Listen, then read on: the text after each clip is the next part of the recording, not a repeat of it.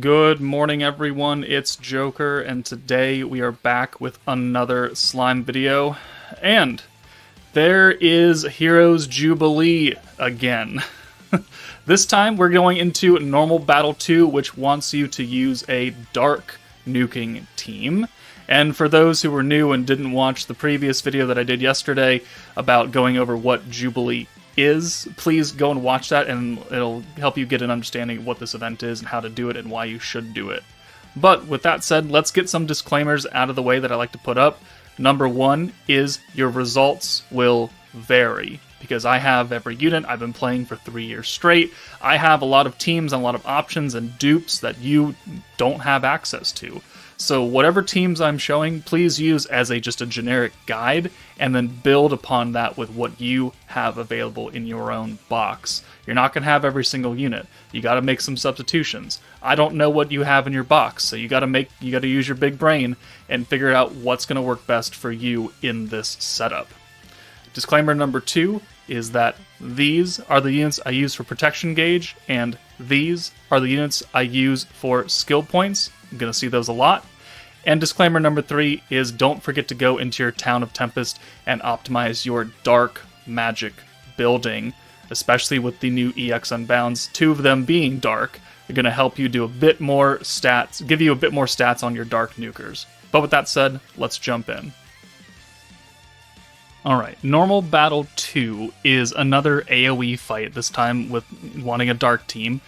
These bats are not nearly as tanky as stage 1. They only have 95,000 HP, so they're missing 100k HP essentially.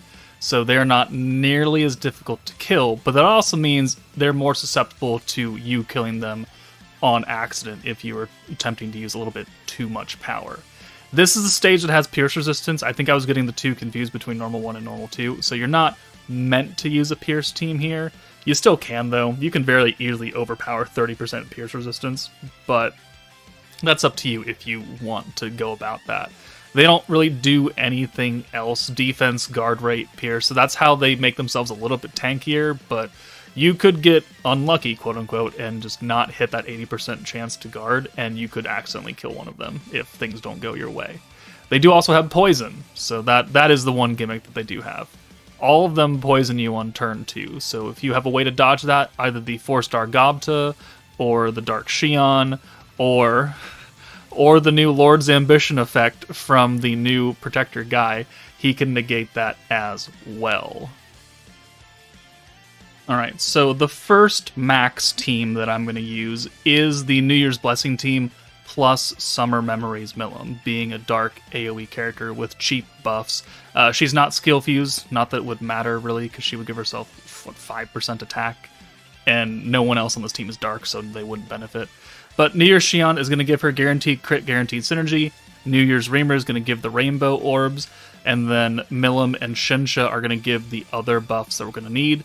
And then the 4-star Gobta will give us the poison dodge, so we don't take that. So the entire goal now is to just take 1 damages across the board, just like normal 1, and then hit the 1.4 million damage cap. So turn 1, we let we put Milim up front to be over Dark Milim so we could have full protection gauge in the back that's pretty much the only reason. So we're going to swap Dark Milim out. We're going to swap uh, Shinsha out of here. We have protection gauge units underneath Gobta and Milim, and we're going to send these. We don't do a lot of damage if they guard. Four Reamer Orbs is what you're really looking for, and hopefully a blue or something along the lines of that. Something to get you, or actually just a full six hand. So these two Milim Orbs are fine for the for the most part. I mean, we do have access to Shion, so we're going to convert it anyways, but I'd like to steal that one blue orb just to give us a little bit extra gauge, because it's what we're going to need. So now we'll swap them out. We'll use the orb steal. We'll use the single alt swap because it's free and it gives gauge increase to the oranges and the rainbows. And then we stole that one blue orb, so we have five Milims and a Shinsha. We'll use Shion to convert that one blue into an orange so we can send the full hand and this will get us the EX alt and barely enough points to do the full buff alt with Shinsha and Milim and Milim skills. Just barely, though. So the poison dodge, there we go, taking one hits, no poison, one hit, no poison, and one more hit. So now we're ready to go. We've got access to Shion again. That's good. And then we'll bring Milim in for Gobta because he's served his purpose. And then one, two, and three leaves us with five points left over. And then we'll use Shion and we'll lower their HP down a little bit more because they have such a high chance to guard. I'm not too concerned with it, but remember that there is that 20% chance that they don't guard, and Milim just straight up murderizes them. So that can happen. So one, two, three, four, and then the the 200% orb does 36,000. Didn't even uh, guard that, but then she does 620k, which is more than more than enough damage to get our damage cap. So 1.9 million, zero damage taken within three turns. So that is the first max team that I have. Let's move on to the second max score team. All right, the second max score team I have for you is quite a whaley team because it's using three of the brand new EX Unbound characters, Guy, Isis, and Milim. So Guy is converting all orbs to green. He's got the element resistance down. He's got the Lord's Ambition skill, which will stack weakness resistance down on the enemies, but also keep us safe from the poisons. We don't need to bring Gobta or anyone for that. Isis is here for damage buff. Guy is here for his damage buff. Milim is here for her damage buff. New Milim is here to nuke, single target nuke. And then Soka honestly doesn't really do anything here. I just like Soka. But we I needed a character with protection gauge underneath, so I brought Soka. You don't have to bring her. You could bring anybody. That slot is free and empty. We are also using Space Milim under our support for Isis. It could be her or Guy, doesn't matter. We just need 36 skill points, so we could use Milim's Rainbow Convert turn 1, because we do have three Octagram Demon Lord characters, Milim, Milim, and Guy. So, turn 1, 36 skill points. We're going to bring Milim in for Isis, and then we'll use her full convert to rainbows, which is going to act as six blues, six oranges, and six greens, all rolled up into one. Perfect. Boom. Love to see it. And then we'll, I think, either spread the damage or we'll send it all against one. All right, we send it against one. You can see that we're doing quite a bit more damage here, even though they're guarding, which is good because we have a single target nuker with Milim, so we don't need all three of the bats to stay alive. Ideally, we would only have one at the end, so we could take even less damage to maximize the or minimize the the amount of damage we're to take. But Rainbow again because she can do it twice, which is crazy to think about.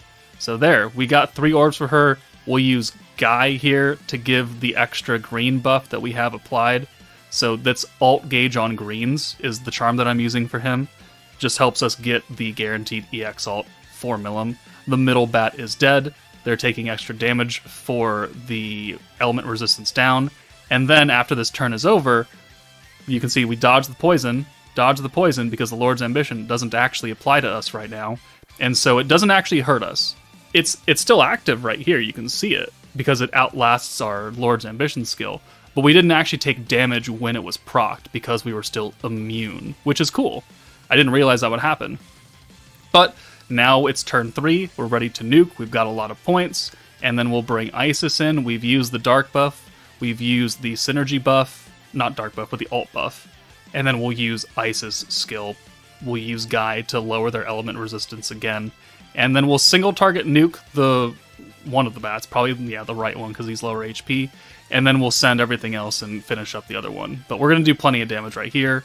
1.69 million because we're within that three to five turn gap where the unbound characters get additional damage. And then Dark Milim still did almost 700,000 by herself right there, so that's pretty impressive. But we took one damage throughout the fight. We did 2.4 million here, so that is another max score team, but it is, again, quite whaley because it needs three brand new characters. Okay, so for people who have access to the team, you can run the Overlord team. It's not going to get you max score because you're going to go past turn three and you're going to take damage. But you can certainly hit the damage cap using stupid Shalltear, which we're trying to give her a reason to exist right now. Please bear with me. Uh, Overlord Rimuru, Nabe, Dark Milim, because she's got uh, the dark attack buff for Shalltear, who already has an alt buff, so we don't need to use Milim's skill, if anything. Ainz is here for his Despair skill, which gives extra protection gauge on greens and is guaranteed crit if we need to use it. Overlord Shizu is here for her alt swap and her massive support buff. And then Shalltear is able to rush her own alt with the Despair skill, which is cool. And also, she has the 80% alt up and 80% defense down, which isn't as strong as you would like. All right, we're going to speed this one up because we're going past a few turns, and I got two more teams after this to show you. So, turn one, we're just going to send the four blues, and we're going to pray that we get some better orbs that are mostly greens on turn two. So, one, two, three, four. We are wanting to full AoE here, so we're not looking to kill any of the bats, but you certainly can because by the time we hit the nuke turn, we we do more than enough damage. So here, good. We got um, mostly greens. We can convert this with Nabe, so that's great. So we'll bring her in for Milim. We'll use the blue and the orange convert. That's the only points that we have, but we do have access to Rimuru, who's going to give us a lot of points back on this turn. So this will be nice. And then we'll again send this. Uh, try not to kill, so maybe spread your damage out. Send your full hands against each bat individually. We don't have anyone to dodge the poison, which surprisingly we uh, we didn't really take as much as I would think. I don't remember having poison dodge on. I think we just got lucky there. Uh, but now we have to orb change quite a bit. So convert, convert. So boom, boom. And then we've got 120 points. We need to use the despair skills. So let's alt rush with Shalltear. That gets her a first level alt. We'll reset their skills with Rimuru, and then we'll bring Ainz in to help us get extra protection gauge so we can continue to cycle Rimuru, because that's going to be kind of important. And then we'll target a different bat and send this Hand of Orbs, because it's we're to get stronger and stronger every time we use Rimuru, so make sure you don't accidentally kill one of the bats if you are lacking some power, or your support buffs are not as strong as what I'm showing right here. So turn 4, we're to alt swap away, we're gonna alt rush her again, and then with these three orbs, we'll get her EX alt next turn. Honestly, I've, we probably could have nuked here, and we probably still could have hit the damage cap. Because uh, when you see the damage that we do on turn 5, you're going to be like, well, we didn't need to go that far. So, eh, eh. If that's what you want to do, then certainly you can go at it, but in this clip I went to turn 5, so we're going to show turn 5. So another stack of Rimuru to reset. All the despair skills are active, so we have max points and another Rimuru next turn, and we'll send these orbs against the right bat, and turn 5 we'll be ready to nuke at full power. So, okay, cheeky counter there, cool. We're still only taking one damage. The despair skills are doing a little tiny bit of chip damage, not that it's really important, but hey, it, it is what it is. We have excess points, so we're going to use Milim's alt buff, even though it's useless. We're going to get that 25% attack for Dark allies, though. And if she's not skill fused, then you don't need Milim at all. And she's only here to be an orb changer. So, Rimuru, stack, cool. We use the Ainz skill as well to give ourselves guarantee crits, and then we'll AoE nuke, and this will do way too much damage. Way too much damage. Yeah, almost a million each, and we need to do 1.4. So this is why, like, if you wanted to nuke on turn 4 with a normal alt, you would have been probably relatively fine right there. Probably being the keyword. But there you go. There's the Overlord team. It certainly works if you have access to it. All right, the next team, we're starting to reach the bottom of the barrel. We're cutting down on the EX characters. We've got Exalted Champion Velzard and Veldora. We've got Visions of Coleus, Violet, and Rimuru, who's going to be our quote unquote nuker. And then we've got Light Milim and Octagram Lumi. Light Milim has the attack buff, and Lumi has the stacking alt and the AoE buff. So, I mean, we should be able to do okay damage here. It's just not going to be super amazing. So, turn one, because it's a special convert, we could, we can, and I think we do use Violet's Orb Change turn one, and that'll give us quite a bit of Velzard to access next turn, and then we'll bring in Coleus Rimuru eventually, maybe. There we go. We'll bring him in because he is the nuking character, and we'll bring Lumi in because she's got extra protection gauge for the first three turns, and we'll bring her in for Lu- or for Milim, and then we'll send these orbs. 53 points. We'll have another 30 from the passive from Velzard, so we'll have 83 or whatever math works out to, and then we can use a few different things here.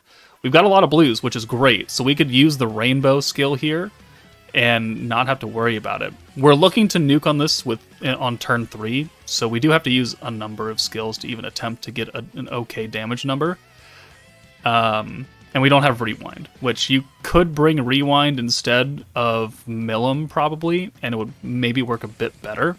But I didn't want to bring the hero just for the purpose of maybe you don't have her. So convert those orbs to rainbows, perfect. We'll then convert that to green because we have a gauge increase on the green that we're going to need here. I believe it's skill points, I think, being the keyword. Think being the keyword. And that'll put us over 110 points for the nuke, which means that we can use like two different things. So there's the poison. We have no way to dodge that. Unfortunate. Oh well. And now we're ready to nuke with the EX alt for Coleus Rimuru. 127 points, so let's use one stack of the alt buff and the magic buff. So we didn't even use Milim's skill. If we had brought the hero, we probably could have gotten the EX alt and used Violet's buff and sent him away, but we didn't. So that could be a strategy if you have access to that and you want to do it instead of this. He does 236k. We didn't really have that many buffs going on, so it's not super impressive. But it's not a terrible score when you look at it. We did half of the damage cap. We took a little bit of damage. It's still turn 3. 113k point nine is still fine if you have to use this kind of team, and there are ways to improve this team as well. So don't think that this is just like the only one you could ever use. All right, and as always, sad five star team. No EX characters on the battle line. We've got Protector Towa. We've got Soka. Now she's actually going to do something. She's going to be our turn one converter. Geld is here to hopefully maybe give away orbs to Octagram Lumi, who we're going to make our nuker. We've got Space Rimuru. If he's skill fused, he's got extra alt resistance down, which is cool. If he's not, yeah, don't worry about it. He's still here. He's still got a 40% attack buff. The hero is back for the rewind and the crits, and then Lumi has her own stacking buffs that will work out. Mm, it, it'll work out okay. So turn one, we're going to use Soka's convert. That's why she's here. That's I think why I had her on the other team because I probably used this team first before doing the uh, uh, the Milliman Guy team where she just didn't do anything except look pretty. So I'll bring Lumi in, and then we'll bring the hero in. We're going to use the rewind to make sure we can get as much points as possible. A double Towa would be great here because we would have access to 40 or 80 points plus the new higher cap of 150 if we can get there. I don't know if we actually do or not, and especially not with a hand that looks like this because we don't really have a way to get around it. so we could have used maybe the Geld giveaway skill, but I'm just going to send these blues. So let's rewind and then do the AoE buff and then just burn the blues out of here. They'll give us an okay amount of alt gauge, and now we have a double Towa, which is cool. And now we just need a few orbs for Lumi. It's just that I can't use everything that I want to here. And even this hand is not super great because it's no blue orbs. We burned them all out last turn. So, not ideal by any means. And you could use a double Towa here, and I think I do. Mm, but I don't actually need to, though, because we've got five orbs. We only need two more orbs for Lumi to get her alt. So yeah, we're just going to send this. This run could have gone so much better. But unfortunately, the RNG killed me, and I didn't really want to re-record it. But we do have the Lumi alt. Okay, cool. We do have access to at least one Towa buff, so that's an extra 40 points, plus 107. So we can still do okay things here, right? So let's take Geld out. We'll use the first buff for Rimuru, which is skill fuse, so he's getting the extra alt resistance down. So if he's not skill fused, your nuke is not going to do as much damage. But another Towa gives us 92, which gives us the crit buff, and we can do one more stack of the AoE buff as well, which is really impactful. And then you could either send the orbs or send the alt. We're going to send the orbs first just to get their health pools a little bit lower. And then we'll send the Lumi alt, and she'll do damage. Not great damage, but she'll do damage. How much damage, you ask? Mm, about 83k. Certainly not great, but it's not a great team and it's full of old five stars. What would you expect? But there are five different teams you can use to take on normal Battle 2. Many, many more exist, so if you have found anything else that works that I did not cover, please put it down in the comments below so other people can see that. But that's it for me, guys. Take it easy, and I'll see you all later.